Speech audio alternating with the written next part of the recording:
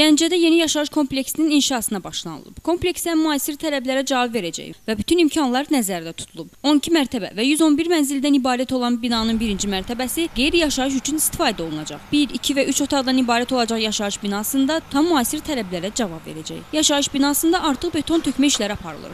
İşlərə yeni start verilib. Təxminən 2 il ərzində istifadəyə hazır vəziyyətdə veriləcək. Yeni e, yaşayış kompleksimiz Vəli Xuluflu küçəsində yerləşir. Binamız 12 mərtəbə, 110 mənzildən ibarətdir. Maş, e, binamızda maşın üçün parkinq nəzərdə tutulub. Birinci mərtəbəsi qeyri-yaşayışdır və 110 mənzildən ibarətdir. Mənzillərimiz 1 otaqlı, 2 otaqlı və 3 otaqlıdır.